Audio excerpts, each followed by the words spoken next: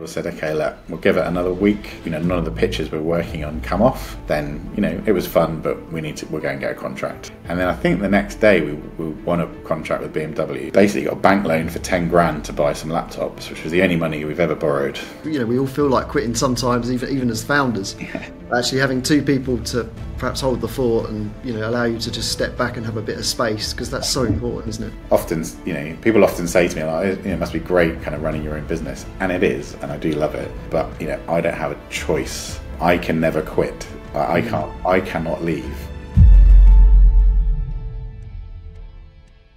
Hi, David. How are you? I'm good, thanks. How are you? Yeah, I'm really well, thank you. Thank you for coming on. Um, so today, I just really want to dig into like the challenges of scaling to a hundred plus strong agency, which is for many agency owners is the dream, right? Um, but um, I'd really like to uncover are some of the struggles and the lessons and, and that challenge of getting to that because obviously it's not straightforward. So, as an intro, can you just um, tell us who Red Badger are and what you guys do? Yeah, of course. So Red Badger is a digital product consultancy. Um, and I often say that we solve complicated problems in complicated places. So we kind of sit below the commodity line in terms of solving those complex problems where you need a bespoke solution. Um, so where you can't just take something off the shelf and configure it, either because the problem you're solving is too complicated, or, as is more often the case with us, the place in which you are solving that is too complex. Um, so our clients tend to be kind of enterprises and blue chips um, for the likes of large banks, retailers, um, media companies, um, where those problems sort of exist.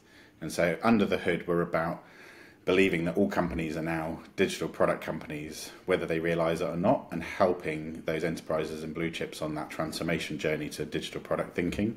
Um, and that's through everything from the user experience, uh, design and research, the product design, all the way through to the correct implementation of agile lean teams, um, back to the, the all the way back to like your mainframe integration if needs be as well.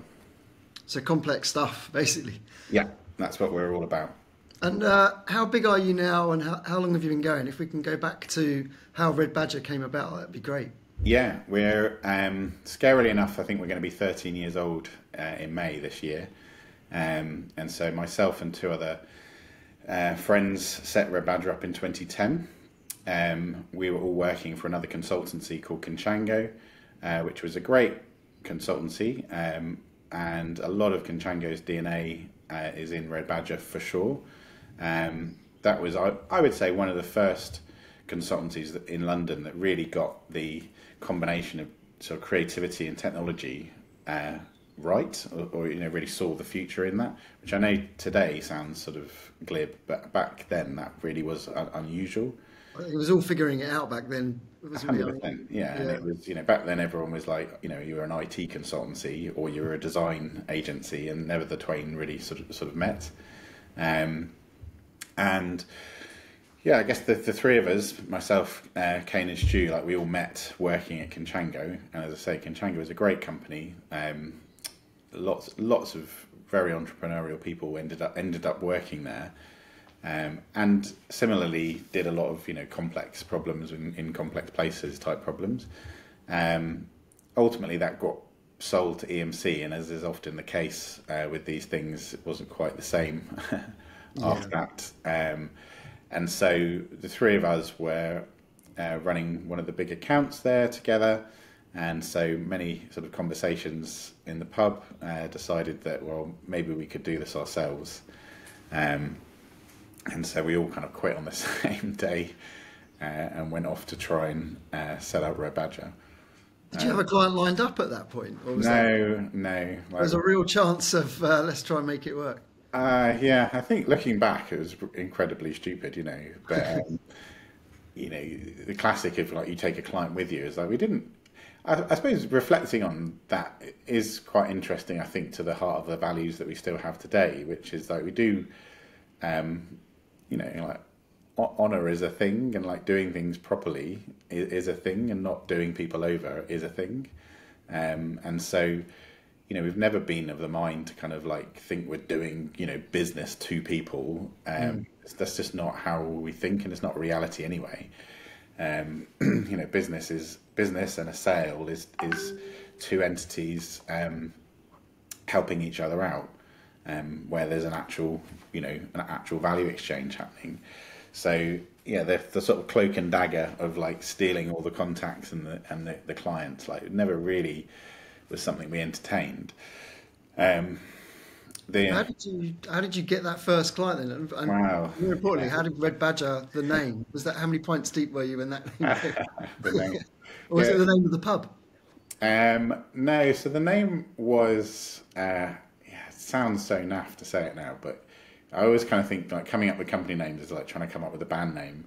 Is that everything everything you come up with sounds terrible, uh, and you can only console yourself by sort of reflecting on famous bands' names. You know, like you, know, you think Blur or Pulp or Oasis or whatever, and like if you if you didn't have what you you know the history of all of the great records they've produced, uh, they would sound like pretty terrible names in the moment. Yeah. Um, but we we didn't want anything um, corporate.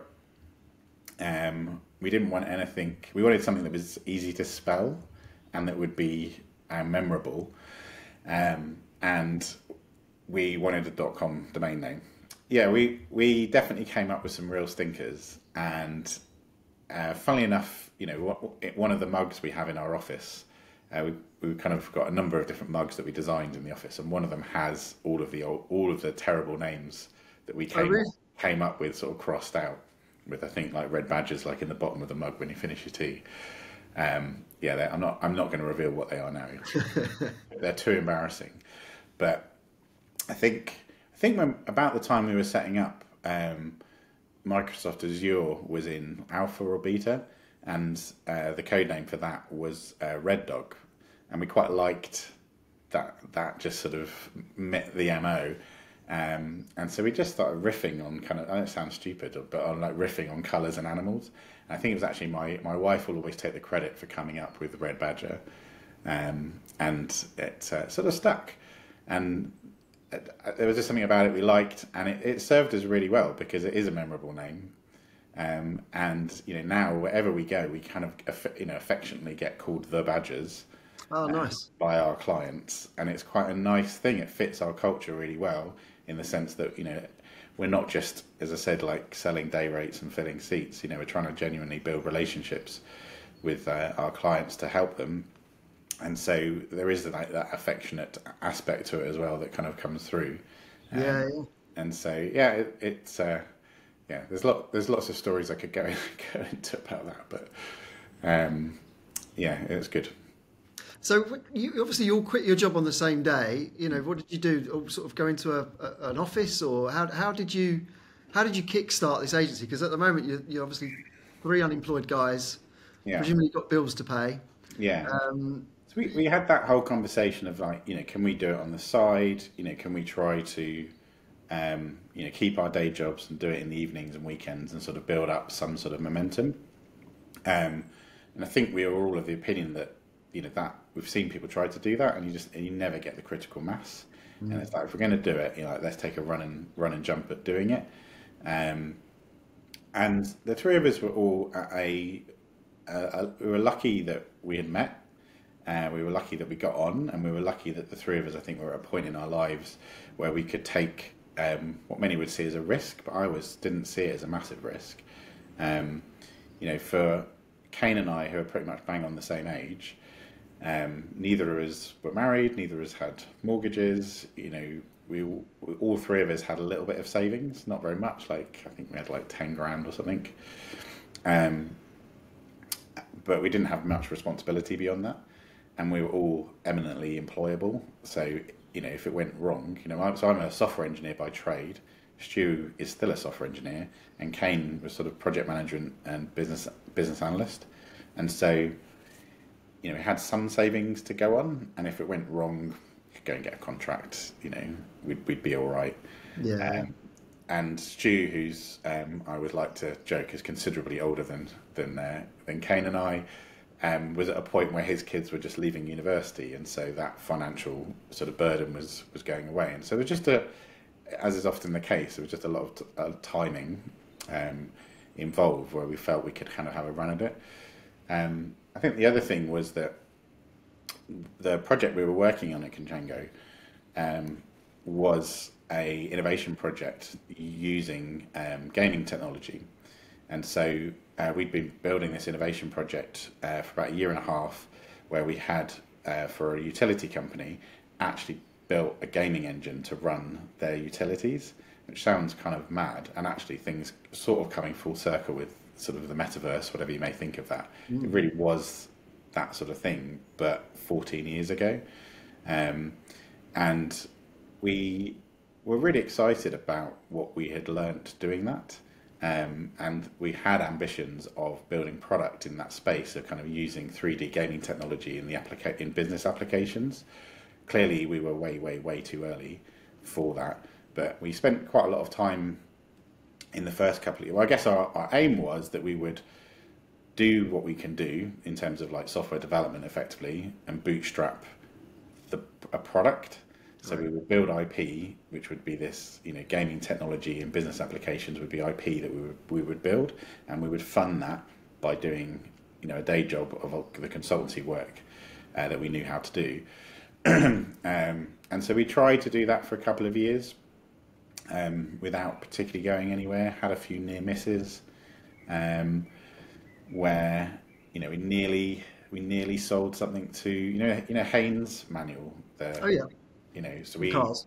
The cars, yeah, and you know, if you open those, they have like the, the beautifully hand drawn exploded pictures of like a you yeah. know distributor cap from a VWB. Well, I'm used to some mechanics, but I know what they look like. yeah, um, and so one of the one of the applications we had of this like 3D technology would be like, wouldn't it be cool if you could actually like on your phone, um, actually take those those exploded diagrams and like interact with them so that you could actually like take the distributor cap, pull it apart, look at it, say, oh, actually, I need that part, and then that would tell you, okay, your your nearest Halfords that has that part is, you know, three miles away, and that sort of thing. Was this before the iPhone, where you could pinch and zoom and things like that, or was that? After? It was. We were we were very much like a Microsoft shop when we started. We're not anymore really. We're kind of agnostic now, but. Um, it was at the time that Windows Phone 7 was launching, and because we were quite, we had a lot of contacts at Microsoft. We got early access to the hardware, and right. they had a lot of. They had at the time, I would say, they were a bit ahead of where um, Apple and others were in terms of having the Xbox gaming technology available on the on the on the Windows Phone on the Windows Phone, and so we were using, and that's what we built a lot of our uh, technology on was the Xbox. Um, uh, technology, gaming technology. And so that again was just like a timing thing. So we got Microsoft were quite excited about that. They kind of helped us, as I said, in terms of giving us early access to hardware. Mm. And so we were just coming up with these different ideas and pitching it. And we got quite, you know, we got to the CEO of, of Haynes and went out to their factory and and pitched it. And that, that could have been the one, but it, it, didn't quite come to fruition. So there was a few few things like that. Um, and ultimately, what I would say is like change things around. Is our old boss, a guy called Mike Altendorf, or as everyone affectionately calls him, Dorf, um, had finished his earnout from the EMC acquisition and was looking to take on some sort of non non exec roles. Um, and so again, fittingly in the pub, we kind of had that handshake of yeah, I'll come and help us. Um, and he pretty much came in and said, lads, you can't do product and consultancy. You know, pick one Mm. And so we said, okay, well, we'll do the you know do the consultancy, um, and you know with a lot of help from Dorf and his uh, black book of contacts, then I'd say that's that's when things really sort of took off for us. So towards the end of the first year, or kind of you know within the year, you know, years one or two, um, we had a lot of irons in, in the fire. You know, Stu and I were trying to build our IP, you know, our, our, technology came without kind of hitting the streets um, trying to sell the consultancy services. Um, we were trying, you know, trying to use effectively our CVs as Red Badgers kind of cr- credentials of like what, what we're able to do. But obviously, it's a hard it's a hard pitch um, to make. Um, and we kind of got to the point, middle of year two, end of year one, where we had a lot of a lot of irons in fires, but nothing was quite coming off. Um, interestingly, we'd had a lot. We'd had a lot of offers to do like Mar and Par websites. Um, What's Mar and Par website? Sorry. You know, like um, someone's running a gardening service, or right. So the sort of stuff that today you would just like knock out on a Squarespace okay. website. Um, or you know, can we come in and just contract, you know, body shop that, like us coming in? And we always said no to those things because we always knew we wanted to do what we'd done throughout our entire careers, which was the big complex stuff. And if we couldn't do that as a business, like we could just go as contractors to do the other stuff. Yeah. And so that that took quite a lot of discipline to say no to those things because it was like, well, if we do that, we'll get distracted from actually building a thing. Um, Did you not need the money though? I mean, how was you paying the bills at this point if you if you're turning well, down? we were on, you know, living on fumes. So like I um, I moved house to so that I could walk to Stu's house, you know, so that I wouldn't have to spend money on petrol and uh, on train fares, and you know, we weren't going out and you know just living very cheaply. Mm. Um, but it was, you know, it was fun. It wasn't like a hardship. It was, it was, it was fun for the most part. Um, and we kind of got to the point where, yeah, we were all running out of money. We were running out of money and so there was an infamous sort of meeting in the Wag- Wagon and Horses in Surbiton, uh, which is where Stu and I lived, um, where we sort of sat on the, sat around the table, said, "Okay, look, we'll give it another week, and if none of the things we, you know, none of the pitches we're working on come off, then you know it was fun, but we need to we'll go and get a contract and yeah. get, go, let's go and get a job, sort of thing." And then I think the next day we, we won a contract with BMW, and then, then like the day after that we won a contract with the German government which were two two of the sort of pitches we were in, and then we were kind of away. Um, and then we were like, okay, we actually need some people to do the work. We need some kit to do it on, um, and we basically got a bank loan for ten grand to buy some laptops, which was the only money we've ever borrowed uh, in our thirteen years. Wow. Um, and got some mates together and contractors and kind of went after it really. Um, that's a brilliant tale, really, of, of you know, yeah, taking that chance and then winning the business and then actually figuring out how to do it. I guess then then you've got you need the people, you need the equipment. Yeah, and like doing it was okay because like we were good at that and we knew people that were good at it as well. Um, and it was uh, yeah, it was like you, you kind of you know pull it pull it all together at the last minute. But um, and then of course, you know, combined to that, as I said, with um, Dorf our old boss coming as a non-exec. He obviously brought an enormous wealth of contacts and networks that he could introduce us to, as well as massively shaping, you know, our, how we sort of positioned ourselves. Um, and then from there, really, we were kind of into the classic phase of sort of the feast and the famine, where you spend loads of time trying to win the work, then you spend loads of time doing the work, and then when you've done the work, you've got you don't have any more work to go to, and then you spend all the time trying to find some more. You know that incredibly lumpy phase, um, where you're basically trying to build up enough capital in the business that you can then um, start to smooth out some of those those um, those peaks and troughs um, by having more enough people that are out there doing the hunting. But I'd say that I, that was years years and years where you're kind of gradually, gradually sort of smoothing, and still to a certain degree that never goes away in a consultancy model, right? Mm. Um, you're always you're in a constant battle to balance supply and demand effectively, and that is that is the trick of running a consultancy. Yeah, yeah. And and in terms of that first hire, then, so there's the three of you presumably doing the work. Mm. Where where did you go first in terms of was it was it delivery? You know, how did your roles evolve, if you like? So in terms of running the business, was there one of you then focused on sales or marketing, one on project management, one on delivery, or you know, how, yeah. how did that business grow from the three of you? It was pretty much um, that you know Stu and I were both technology. Um, I've always been technology and sort of delivery. I've always been very passionate advocate of all things agile for very, very, very long time from the very early stages. And so, so between Stu and I, really, we would handle the delivery and the, the technology side of things. Um, Kane did everything else in those early days. So Kane was definitely the, you know the sales guy, the finance guy, um, the ops guy, all the rest of it, which is sort of hilarious. We, we look back on that as sort of hilarious now because Kane's pretty uh, not the most organised person, people uh, on on the finance side of things. Um, and actually, my um, my dad uh, has owned and run many many businesses, or had owned and run ran many businesses over the years, and was an accountant by trade, and so he very kindly did a lot of work and advice for us on deferred payment terms, um, which he did eventually get paid many years later, um, and worked worked with Kane on kind of the admin side of stuff as well. Um, but that was kind of how things fell down those lines for probably the first four or five years. Um, and then partly because going back to Conchango, you know, where our, our, old place, partly because there had been a mass exodus of people there, there was quite a lot of like talent for us to pull on. Right, nice. Um, of people that we knew were good, and you know, we've still got people that work for us now that used to work for Conchango, um, which is fantastic. So we had quite a good pool of you know people that we just knew were good for it.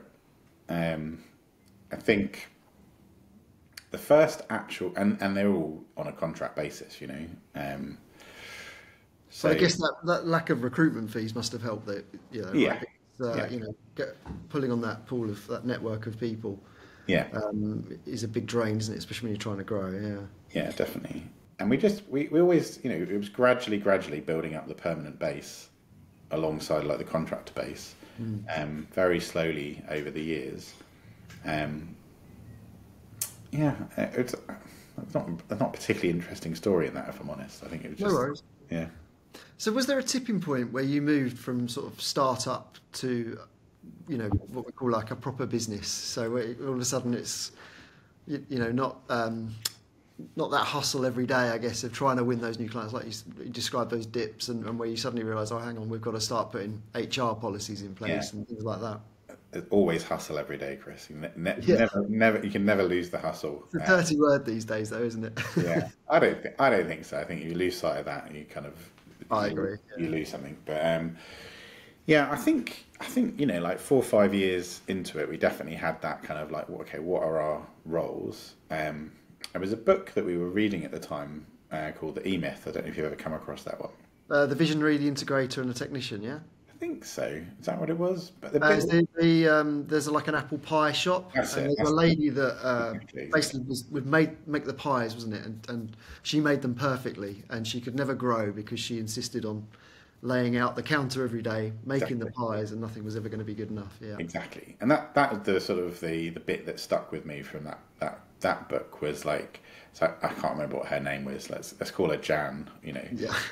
where you know if you you run a business that is Jan's, you know, pies. At what point uh, do the pies? You know, in the beginning, you know, Jan is making the pies, so they are Jan's pies. They are Jan's pies, yeah. At, at what point do you get to a scale of business where you need somebody else to make the pies, and are they still Jan's pies?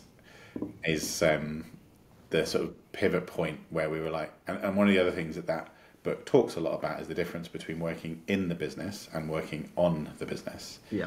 Um, and that is very much the kind of peaks and troughs that we, you know that happen in a consultancy where you kind of like you work on it for a bit, you win some stuff or some stuff needs to and then you kind of dive down into the detail and you're working in it for a bit, and then you kind of come back up again. Um, and yeah, we sort of, um, I suppose by that point as well, you know, the three of us had worked together for long enough that we knew what our respective strengths were and were not. Um, and so it was probably around that four or five year mark where we said, okay, well, uh, Kane is developing into you know a very good uh, sales guy and sort of marketing guy and great out in the market. Not amazing at managing the receipts and working with my dad on all of the operation side of stuff uh, and that was really becoming my. It was clear that that was better a better fit for me, um, and so and Stu was clearly still all about like being on the front line of technology and still is today actually. And so we basically split up and said, okay, Kane go to sort of CEO, focus on the sales and marketing. I'll go to the COO and do focus on the operations side of stuff, not just the internals, but also how we actually do the client delivery.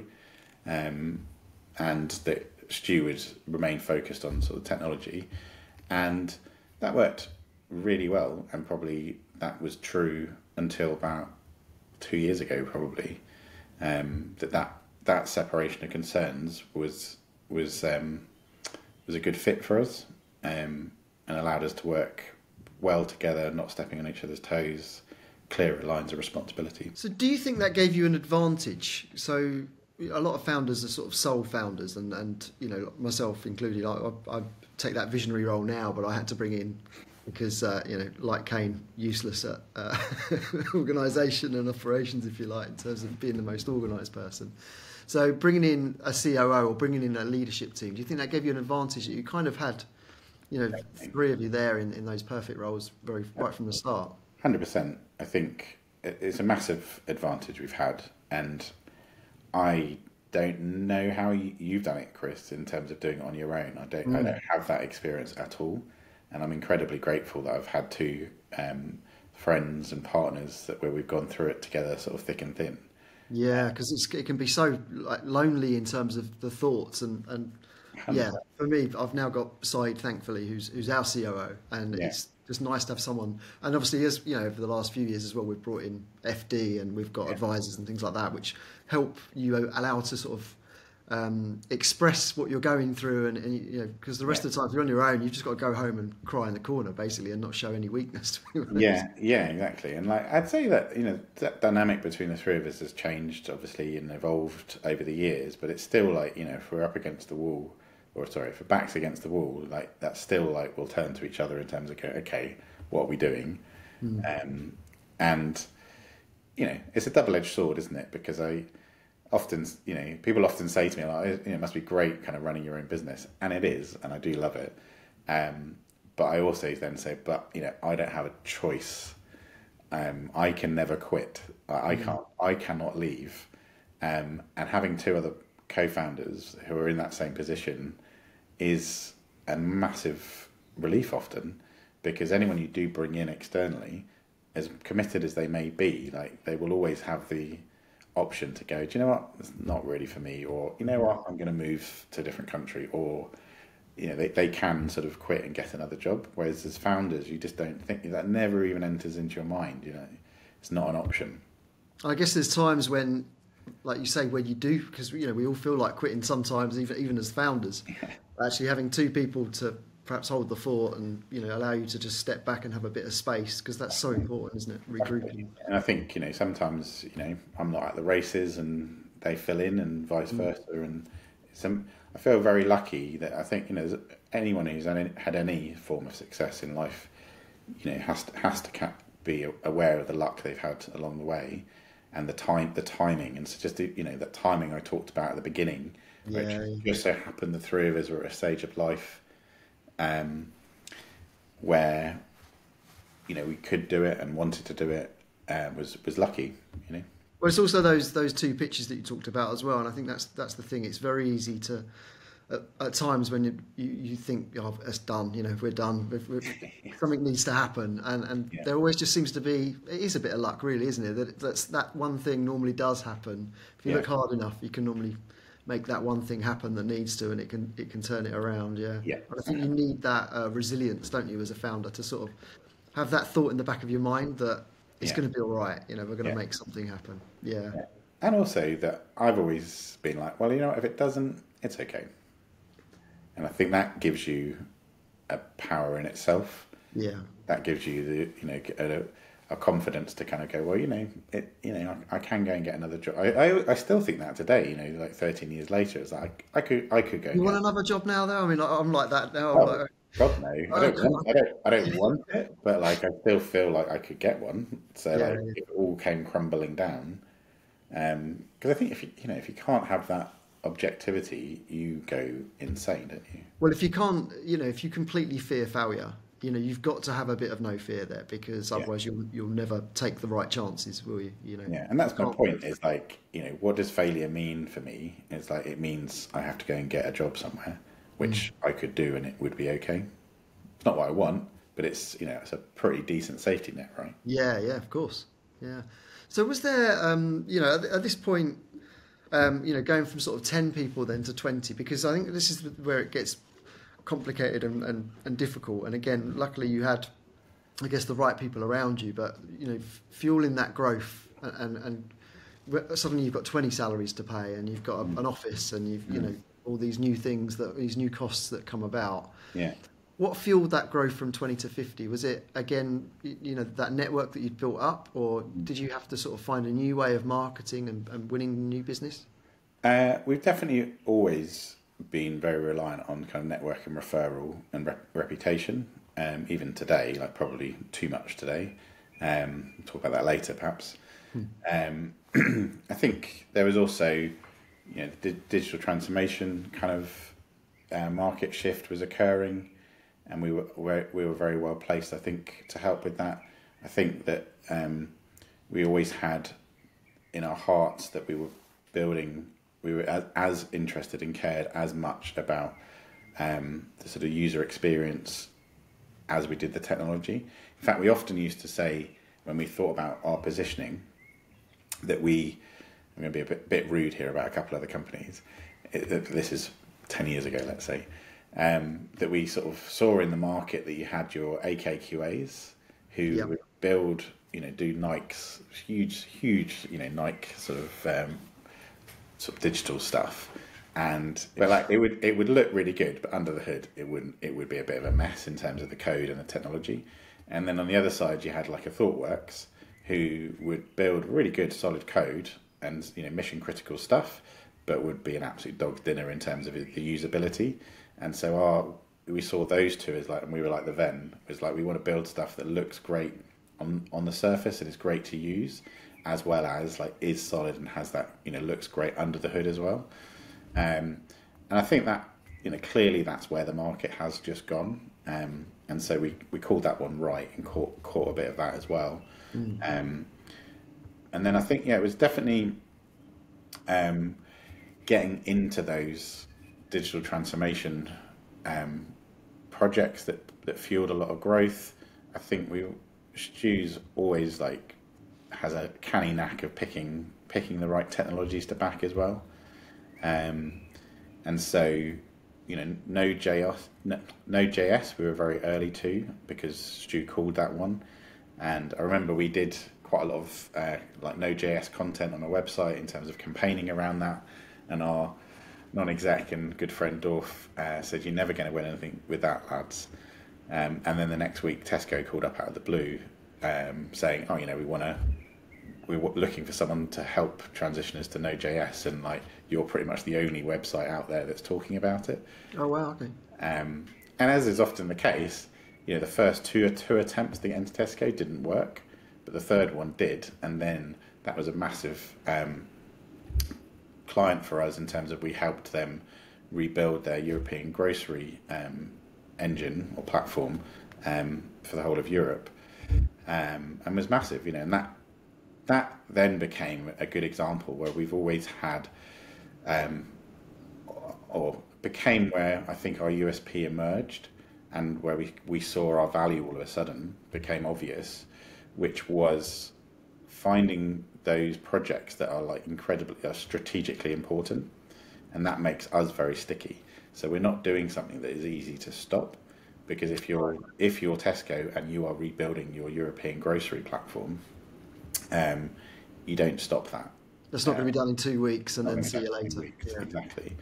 Um, and that's been the history of Red Badger, really, is that we've had these pillar clients, you know, that where there's one usually one client that is the majority the big client and it lasts two three four years uh, around which other clients are kind of then built mm. um, and then that peters out and then the trick is like finding the next one and finding the next one and finding the next one and so through the years, you can see that that was Tesco, and then it was, or actually it was Sky, and uh, Tesco, and Fortnum, and HSBC, and Nando's, and Santander, and like uh, those have been the the ones that have given us the foundation and therefore confidence to sort of push on because you feel like you, you that's that's a decent sized client that's not going away, and you can kind of use that to fuel your next stage of growth. Was there? Did you have to go for any lessons in that point? So in terms of having that Goliath client, because it's very easy to get comfortable when you get that one Goliath client, but obviously that's always at some point going to come to an end. I mean, we had it with eBay. We worked with them for six or seven years, and, and it was fueling this growth for Honcho, and it was it was great. But in the back of Yeah. your mind, you're like, you know, if this ends, what do you do then? Yeah. Yeah, and I think we again talking about luck. Like I think we were um, we have been very lucky in terms of not having uh, until really the pandemic. Actually, uh, having had that big client kind of disappear unexpectedly. I don't think that. I think that's true. True to say. Um, we've al- we've always been very aware of having that um, that big client and being over, over overly dependent on it. And so for years we've had had a drive of like we, mustn't have any one client that's bigger than thirty percent, and that doesn't mean reducing it. It means building the rest of the business around Yeah. it.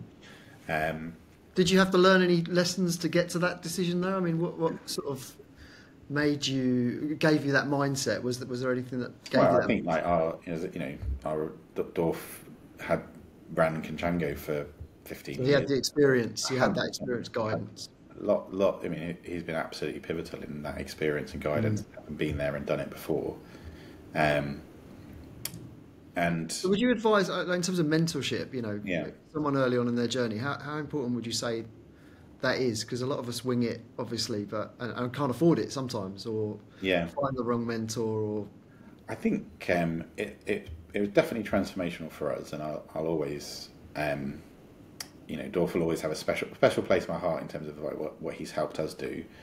Um, but I can also, so I think it's re- really important if you can find the right person, and that is, you know, again, just a bit of luck. I think we had Yeah, yeah. doing that, and we've over the years tried to bring in other non-execs that haven't really stuck for one reason or another, which maybe that's our fault as well. I don't know, um, and so, and there's definitely people we've brought in who've been totally duffers, um, and you waste a lot of time and money and effort on it as well. And it is really hard, but it, it's the same problem you have in every facet of the business, right? Is it when you have a people business, it's a, it's about the people, yeah, um, and finding the right ones is what you spend majority of your time doing, and so that is true at every single level of the business. Um, I think it's. I don't know if it if it's always been this way or whether it's harder now. There's certainly a lot. There's a lot of people out there that like to think they would like a portfolio career. Um, but what advice do I have on that one? I, I, think you really do need to find people that have, you know, what Dorf's superpower is that he really had done exactly what we were trying to do before. And I think that is really important. There is definitely value and advantage to having, um, you know, advice and guidance and people from different walks of life. But if you haven't walked, you know, 100 miles in, in your shoes, that is that is invaluable. yeah, yeah. Um, and so I think finding someone that has that tight fit and therefore they have the empathy and the affinity. I think empathy is massively important. Is that if you've never run a consultancy or an agency and you've never had those moments where you have lost a big client and or, or you win the big one you can't resource and all of those sort of peaks. If you've never had that emotional experience you will never know what you're really talking about in terms of how to handle those. Um, so that's probably the biggest advice is that yes, definitely try to find somebody, but don't force it. I think what about the um, finding that right person as well? Because I think a lot of one easy trap to fall into is is getting a mentor. And thinking, right, I've got a mentor now, but then you know three, six months, nine months, or or, or you know it could get to two years, and, and Yeah. in the back of your mind you're thinking this isn't the right person, but I'm now committed to this person, and But you're not No. you're not committed, are you? Know. well, I think it's, it's an easy trap to fall into, isn't it? I mean, I think Yeah. is it is it a case of setting up from the start that you know we'll give this three months or six months, and then Yeah, I mean, I think uh, I think you just always have that option, right? It's like no, no, nothing is sacred, um, and you know the biggest thing I've learned over the years is to have objectivity. Like I think if you can develop objectivity, which I, I, I I'm not saying I'm amazing at, at that, but have got a lot better, um, mostly through having um, various different coaches helping me with that over the years, um, to be able to kind of observe yourself from above and like the, the surroundings around it. Um, and you, do, I, I think you learn that you get to points where you're like, "This doesn't something doesn't feel right. This all feels too hard. I'm tired. This isn't fun anymore." Those are all kind of like signs that you need to make a change. Mm. Um, I think that's the biggest, you know, big thing I always say to myself and to others as well is like if something feels hard, you're doing it wrong. You know, and like work should be fun. It should be energizing. It shouldn't be kind of stressful and detracting. And if it is, like something is wrong and you need to make some change. And so then it's about trying to step back and kind of like, okay, well, what what is the change I need to make?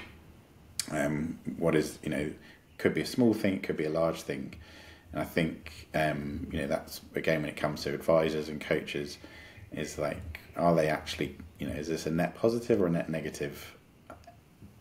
And trying to look at things in that way. Yeah, yeah.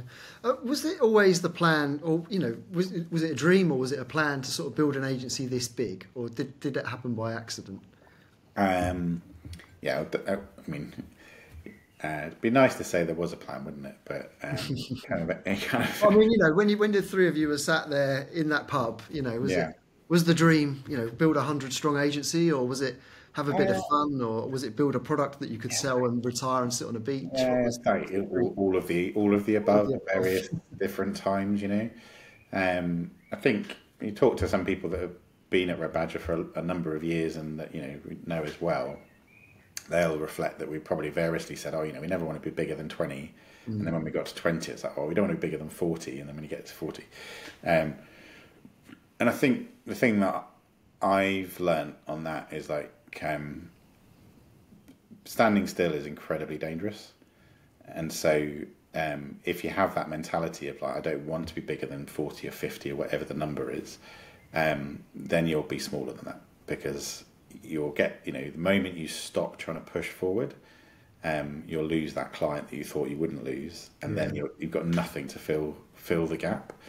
And so the, the the safest place by by a long long shot is being on the front foot um, and pushing for growth. Um, and I reason, and that doesn't come from like a megalomaniac kind of like I want a huge enterprise. I sort of reason that from the point of view of like, well, a, it's the safest place to be. Like if I've got a growth problem, like that's a good problem to have. Um, B, it actually pushes me as an individual. So as the business gets bigger, I have new challenges that I have to solve that I didn't have before by virtue of that scale, and I like I like having new problems to solve. That's what gets me out of bed in the morning. Um, plus, I think the work that we do is actually really good. I think we're really good for our clients, and I think that we're a really good employer. So I think we're really good for our employees as well. So if we can do that for more people, then that's a really positive thing that we are doing for the industry and for people and for people's families and and their lives as well. And so in that respect, I'm like, well, we should therefore always be trying to do more um, and more of it, mm. because those things I think are positive positive things to focus on. I think like fueling that growth though, because um, obviously we're a people business agencies, yeah. and to fuel that growth and to go the next step beyond, you need to bring in better people and you need to invest more and more in, in, in bigger salaries and more experience yeah. and everything else. Was there any a point ever a point in your business where you thought maybe we'd get investment to do this? Because obviously to, to never borrow any money and not have that growth completely fueled organically is, is yeah. quite an achievement. Yeah. Was there any uh, ever a sticking point where you thought, well, because I mean, in our business, we always have, you know, there's always 10 people I'd love to recruit and 10 skills that we haven't got that we'd love yeah. to have. Um, um, I mean, yeah, obviously, like we've talked about it and considered it on and off, you know, over the years. Um, we've always tried to run the business kind of in a sort of just in time model. So it's sort of like as back to that thing of like when things feel a bit stretched and a bit hard, it's like you, then that's the next push that you make, mm-hmm. but not before. Like it's very easy to fall into the trap, and we've definitely done it, of where you design the business you want, and you go, okay, well, you know, we're going to build uh, an innovation practice, so I'll bring in a head of innovation, um, or we're going to build a data practice, so I'll bring in a head of data, and that and that will then magically appear. Yeah. Um, as opposed, which it doesn't, by the way, um, as opposed to the sort of thing of going, oh, you know, lots of people are asking us to do data projects, and we're struggling to kind of resource it properly, or it's getting beyond the realms of that we can kind of do. We need to bring somebody in to help with that, and it's like that sort of pull pull rather than push way of thinking, and stretching yourself as as much as you can without screwing stuff up before you kind of like go okay now I'll bring in that next senior person because the demand I can feel the demand is there. Yeah, yeah. Um, and I think any time we've tried to go down the sort of build it and they'll come route has gone wrong for us. That hasn't worked. Um, maybe it has for others, and that's just like, an inability of ours, our, our own. Um, but I think that's just been the mentality, I think. And so, you know, if you took investment, uh, what would you do with it? You would sit around designing your head of innovation, head of data, and you know, I always sort of said that in the early days when we didn't take investment. Is like if we did take investment, we would have spent a lot of time designing beautiful meeting rooms and coming up with what should the, you know what mountain ranges should they be named after and all of that bollocks. And instead, like we were hungry, and it was like we've got to we've got to get the you know the thing you get focused on what really matters, um, which is the core business fundamentals. Uh, and if you lose sight of those, they bite you in the ass. Yeah, yeah. What happened um, during COVID then? I mean, was you was you affected by that much? Mm. Did it really? Um, you know, was there a point there, like with most agencies, all of a sudden have budgets paused and yeah, definitely clients disappearing? I mean, yeah, it was a very scary time. Um, I think for everyone, right? Like nobody knew that April 2020.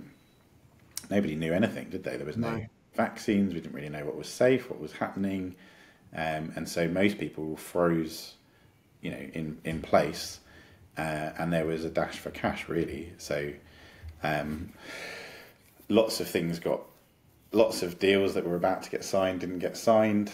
Um, clients that did pull things. Um, it was yeah, it was very a very very disrupting time, um, and did you didn't know where it was going to end really. Mm.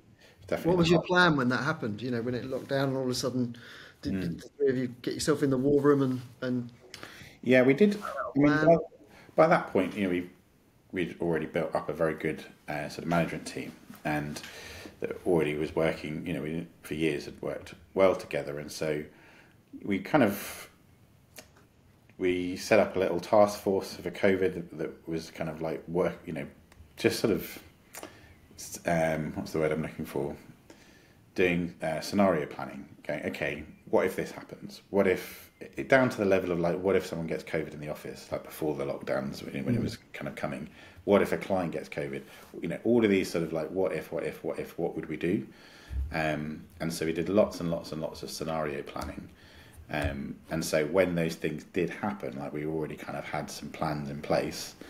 Um, and we also went back to kind of going, okay, what are our what are our principles that we're going to run by here? Like, what are the objectives? Um, and so we set out very early that we're like, okay, we, we want to avoid making redundancies. So that's that's like number one. Um, we want to stick to kind of the values that we had, um, and then that kind of like that guide you in terms of therefore what you know what should I do in this sort of situation. But um, yeah, I mean, like terrible couple of years, honestly, in terms of the the roller coaster ride of of that. Um, definitely learned a lot of things I could quite happily have, have done without learning for sure. Mm. And then coming out of that COVID, uh, have you seen a, a, positive market? Have you seen good growth since that? When did it, when did that moment change?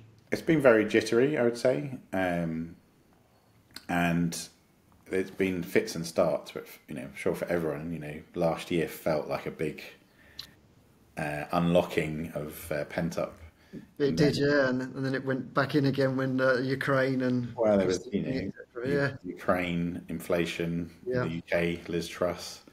Um, yeah, was uh, it was only twelve days though, right? Yeah, yeah, but um, what, what, amazing what you can accomplish in twelve days. Yeah, isn't it just?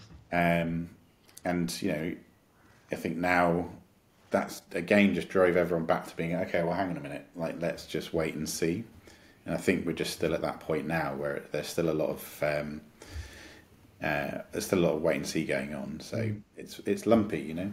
yeah, yeah. Um, so, in terms of what you would say to someone who is thinking of starting an agency with your 13 years' experience, yeah. is there a bit of advice you'd give them, or what advice would you give your younger self at the beginning of your journey? Do you think? Um, I think you've got to do it for the right reasons. It, it I love doing it, and it's it's a great. I think they are great businesses to run.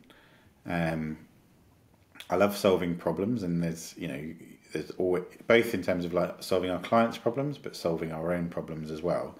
And that's in a consultancy that's incredibly fertile ground, right? Because you you get the privilege of working in many different sectors on many different types of problems, um, which is really stimulating. So I, I, get bored very easily, and so that that variety um, and the challenge that comes with that is a really good tight fit for me.